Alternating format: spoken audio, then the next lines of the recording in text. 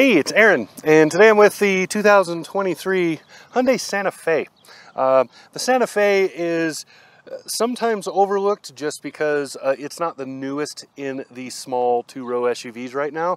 This design, or well, this generation came out in 2019 and then there was a design refresh i believe it was last year and you see uh, much better grill much better look overall they did a really good job on that refresh keeping it current um, there are I believe five trim levels for this. There are two options for this uh, as far as the engine goes. Uh, and then there are a couple of hybrid options on top of that.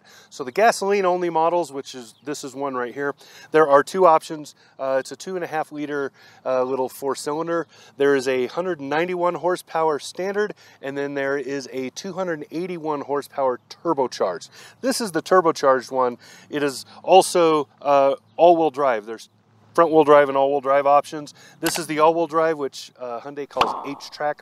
So this is a wonderful, wonderful vehicle. Uh, seating for five, pretty decent size, easy to park, all of that good stuff. Uh, I'll show you the working end, especially the cargo area has really, it's really cool. Um, I'll show you that. And then also, uh, you know, the interior is really good and stuff. So we'll do a full walk around here. Um, wonderful vehicle that is often overlooked and you can't forget Hyundai's warranty. Um, yeah, one of the longest in the business. It's a selling point. All right, let's talk about design and then we'll get back in that working end.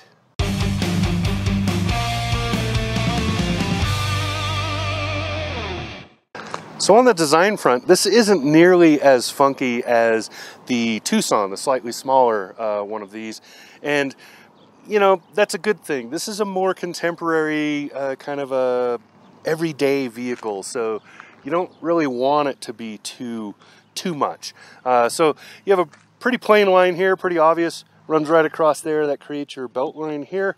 But this is a, a, a I don't know, multiple lighting shelf there's a curve to it right here, which creates this bright spot you're probably seeing, and then this flat paint part right here, and then this hard cut that goes down and in again right there.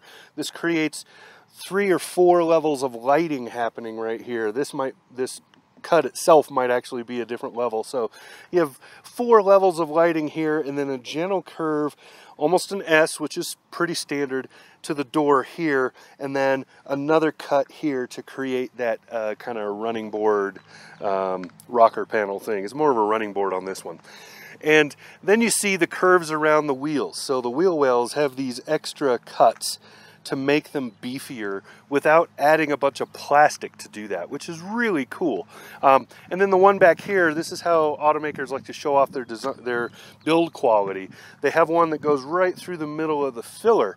And this filler uh, cover here is, you see, that draws your eye to it, and then you see how how clean the lines around it are. That's a that's how manufacturers show little things like that, or how manufacturers show their build quality.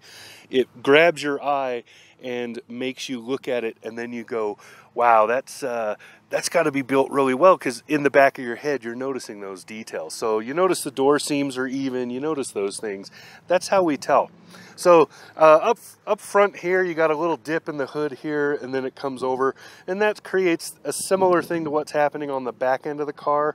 So all the way around, you have a really nice uh, kind of just a contemporary but very well done design. Um, the roof rails add to everything, make it look a little taller than it really is, and it's just a, a great overall design. Now let's go look at what's happening in the cargo space because there's a there's some really cool stuff. Let's go check it out. Okay, so back here you can see that the it's pretty flat. There's not a whole lot of rake happening right here. Um, this is pretty pronounced, and then it's pretty flat right here. That creates more cargo space. There's a reason that it's designed that way. When we open up the rear, you see this big flat cargo space and then those seats I don't know if you can see it pretty well from there or not. Those seats have a very very steep angle to them. They're leaning back a lot. Uh, you can straighten those out. That's an option. You can also in this particular one you have electronic controls of that so you can just push the button and the seat will fold for you uh, to give you that extra that longer cargo space. Now back here under this, normally you'd have your spare and stuff. This has an inflation kit instead. I believe a spare tire is an option, uh, but it will delete the next thing I'm going to show you, which is awesome. That next thing is right here. So you have this multi-folding and removable thing right here, cargo cover right here, right? So if you fold it back like that, and then again like that, you have these, I'll show you a picture to get a better view of it, but you have these big separated tubs for storage. You could put watermelon, bread, and uh, milk in there in in each individual one and none of them will roll over the top of the other one so your bread will still be fluffy your milk will still be will be uh, still closed and your watermelon won't be smashed all over the place because it rolled around on the back here really really cool um, I really like that and then you know this this cover here like I said it's removable and it's a very easy to operate. You saw me, I just did it one-handed, no issues. So really cool there, really like that. Uh, and overall big cargo space. For, so for a vehicle this size, this is a huge cargo space. Um, I'm gonna say just off the top of my head, this is probably more cargo than you get in almost every one of these small uh, two-row SUVs like this. Um, so yeah, and there's D-hook tie downs and you can get a cover if you want that slides out, all that good stuff. So really well done back here. Let's go look at the insides. Back here in the back seat, you see that lean is way back, right? What I was talking about. Um, it's adjustable. Whoops. So I can put it where I'd like, right? I like maybe right about here. That's pretty much my sweet spot. Uh, this is a great back seat. Uh, that door opens to almost full 90 degrees, making it easy to get in and out.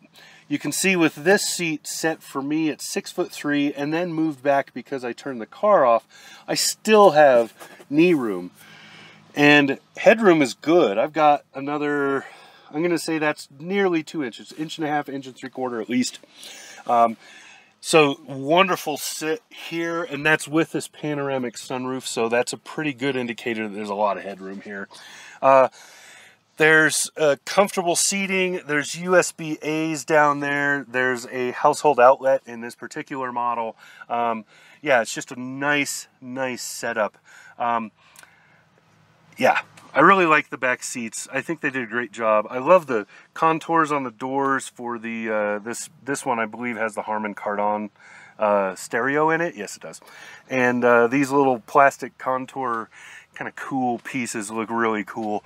Um, same are on the front ones. And yeah, just a really great setup back here. Up front here for the driver, uh, same thing. Very comfortable door opens to almost full 90 degrees. Uh, easy to get in and out, easy to find your comfy spot with this. Um, I'm at, so the seat's back further than I normally would be driving because it moves back about an inch and a half or so uh, when you shut the car off to get in and out. Um, headroom, again, the same as in the back. I've got plenty. Uh, I feel really comfortable and there's just enough bling. I'll show you a couple of pictures here. Just enough bling to keep this interesting and Hyundai did not dump all the buttons and try to put them on a giant screen. Instead, they have a usable screen, but they still have buttons for most everything, uh, including shifting, which used to annoy me, but doesn't so much anymore. I'm getting more and more used to seeing it now, and so it's not as big of a deal. Um, but I love the layout in here. There's a little shelf for the passenger side to throw things on. There's a pass-through shelf under here. Um, there's lots of plugs. There's USBs. Uh, this has wireless charging. There's a 12 volt down there. There's a lot of little things in here to make it a comfortable, comfortable, happy place and a place where you can put your stuff because we tend to carry a lot of stuff, right? Adam Sandler has a song about that. Well, how's it go?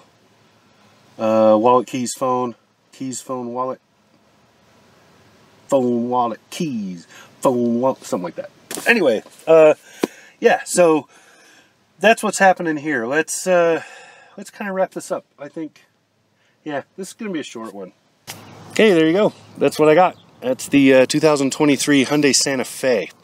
Um, really good family vehicle. Nice two-row setup.